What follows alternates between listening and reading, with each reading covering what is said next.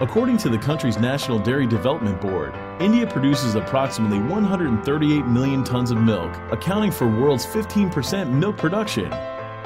India is also the world's largest consumer of dairy products, but only 30% of India produced milk is converted into value added products. Milk is a highly perishable product. From the minute it is produced till it is processed, packaged, and given to the customer, it has to be always kept at a cooled condition at 4 degrees centigrade and it has to be kept in hygienic containers. Unless that is done, there will be definitely quality deterioration of the product and uh, the uh, MBRP rate in the milk will start increasing. The bacterial content of the milk will start increasing. Thus, to ensure that the best quality milk enters into the processing plant, chilling and storage protocols have to be controlled and monitored in real time.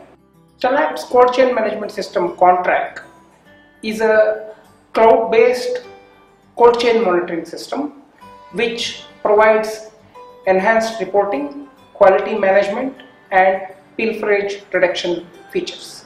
It is applicable for various components in a cold chain such as bulk milk coolers, silos and tankers. Namaskara. ಇದು ಮಂಡ್ಯ ಜಿಲ್ಲೆಯ ಶ್ರೀರಂಗಪಟ್ಟಣ ತಾಲೂಕಿನ T M Hosur ಹಾಲು ಉತ್ಪಾದಕ ಸಹಕಾರ ಸಂಘ.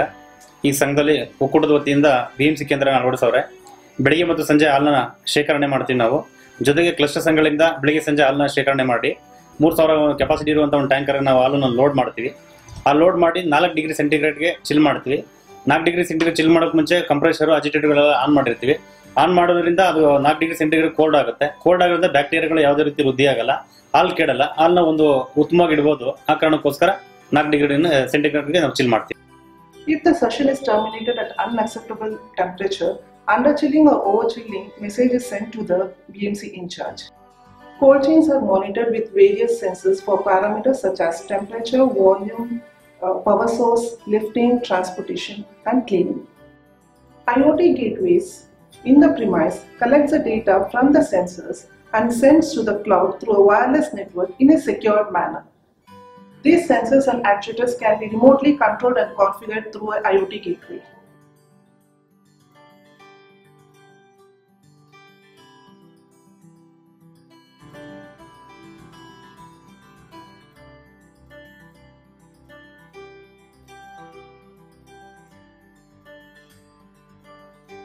ಕೆಲವೊಮ್ಮೆ ಬಿಎಂಸಿಗಳಲ್ಲಿ ಹಾಲು under chill ಆಗುವುದರಿಂದ ಹುಳಿ ಆಗುವುದು ಗಡ್ಡೆ ಕಟ್ಟುವುದು ಮತ್ತೆ ಮೊಸರಾಗುತ್ತದೆ. ಮತ್ತೆ ನಮಗೆ ಹಾಲು ರಿಜೆಕ್ಟ್ ಆಗುತ್ತೆ, ಮತ್ತೆ ಬಿಎಂಸಿ ವಾರಗಟ್ಟಲೆ ನಿಂತು ಹೋಗುತ್ತದೆ. ಇಲ್ಲಿ ನಮ್ಮ ಈ ಕಾಂಟ್ರಾಕ್ಟ್ ಸಿಸ್ಟಮ್ ಉಪಯೋಗಿಸುವುದರಿಂದ ಇದನ್ನೆಲ್ಲ ನಾವು ತುಂಬಾ ತಪ್ಪಿಸಬಹುದು. ಓವರ್ ಕೂಲಿಂಗು, ಅಂಡರ್ ಕೂಲಿಂಗು ಮತ್ತೆ ಪಿ ನಮಗೆ ಸರಿಯಾದ ಸಮಯದಲ್ಲಿ ತಿಳಿಯುತ್ತದೆ. ಮತ್ತೆ ನಮಗೆ ಹಾಲು ರಿಜೆಕ್ಟ್ ಆಗುವುದು ತಪ್ಪುತ್ತದೆ. ಕೆಲವೊಮ್ಮೆ ಚಿಲ್ಲಿಂಗ್ ಮಾಡುವಾಗ ಪವರ್ ಹೋಗಿ ಬಿಡುತ್ತದೆ. ಸೊಸೈಟಿ ಹೆಲ್ಪರ್ಸ್ ಡಿಜೆ ಆನ್ ಮಾಡೋದನ್ನ ಮರೆತು ಬಿಡುತ್ತಾರೆ. ಅವಾಗ ನಮಗೆ ಇಮಿಡಿಯೇಟ್ ಆಗಿ ಎಸ್ ಎಂ ಎಸ್ ಬಂದು ಗೊತ್ತಾಗುತ್ತದೆ.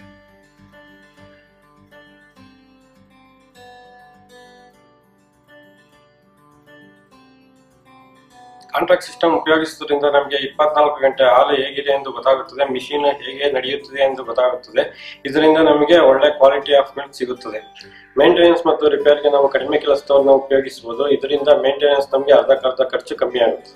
ಈ ಸ್ಟೆಲಸ್ ಉಪಕರಣ ಕಾಂಟ್ರಾಕ್ಟ್ ಅನ್ನು ನಮ್ಮ ಹಾಲಿನ ಶೀತಲೀಕರಣ ಘಟಕದಲ್ಲಿ ಅಥವಾ ಬಲ್ಕ್ ಮಿಲ್ಕ್ ಕೂಲರ್ ಘಟಕದಲ್ಲಿ ಅಳವಡಿಸಿದಾಗ ಅದರಿಂದ ಸಂ- ಹಾಲಿನ ಶೀತಲೀಕರಣ ಘಟಕದ ಸಂಪೂರ್ಣ ಮಾಹಿತಿಯನ್ನ ನಮ್ಮ ಮೊಬೈಲ್ನಲ್ಲಿ ಮತ್ತು ಮೇಲ್ನಲ್ಲಿ ನಾವು ಪಡೆದುಕೊಳ್ಳುತ್ತಿದ್ದೇವೆ. ಈ ಕಾಂಟ್ಯಾಕ್ಟ್ ಉಪಕರಣವನ್ನು ನಮ್ಮ ಅನೇಕ ಶೀತಲೀಕರಣ ಘಟಕಗಳಲ್ಲಿ ಅಳವಡಿಸುವುದರಿಂದ ನಮಗೆ ಪ್ರಮುಖವಾಗಿ ಆ ಶೀತಲೀಕರಣ ಟ್ಯಾಂಕಿನಲ್ಲಿ ಸಂಗ್ರಹವಾದ ಹಾಲಿನ ಉಷ್ಣತೆಯ ಏರಿಳಿತ ಮತ್ತು ನಿಖರವಾದ ಉಷ್ಣತೆ.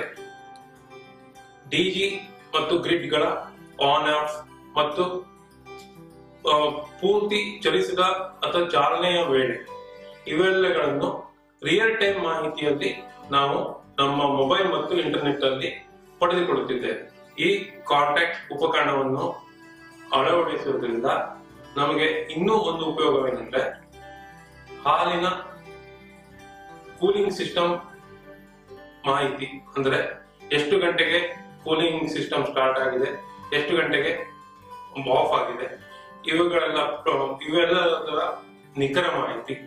ಮತ್ತು ಡಿಜಿ ಎಷ್ಟು ಗಂಟೆ ರನ್ ಆಗಿದೆ, ಎಷ್ಟು, ಯಾವ ಟೈಮ್ನಲ್ಲಿ ಆಫ್ ಇದೆ, ಯಾವ ಟೈಮ್ನಲ್ಲಿ ಆನ್ ಇದೆ ಎಂಬ ರಿಯಲ್ ಟೈಮ್ ಮಾಹಿತಿ ಪಡೆದುಕೊಳ್ಳಬಹುದು. This big data that comes into a cloud system is processed and analyzed by our big data analytics engine to generate reports and patterns of different kinds. For instance, chilling session reports, which are reports about how the milk was chilled, what is the time taken for the milk, what is the volume of the milk at various points of time, will be at a per BMC level. There are cleaning reports that are generated. And then there are power consumption reports. You know what power was consumed to chill the milk? What time the milk was lifted what time the milk was transported from a chilling center to the processing center. Comparative reports such as how the 2000 liter chilling systems are performing versus 3000 liter chilling systems are performing. How 5000 liter tankers are performing versus my 10000 liter tankers are performing. Or geographic reports which indicate in which geography of the milk collection are the systems performing better and the quality is better and so on. Various kinds of reports can be generated that can be used by the customers. Such reports help our customers by increasing the quality of milk significantly, reducing the operational and maintenance cost of the cold chain, increasing the operational life of the cold chain components, making better buying decisions of the cold chain components and thus increase the overall profitability for the customer. Stellabs. Smart systems. Stellar applications.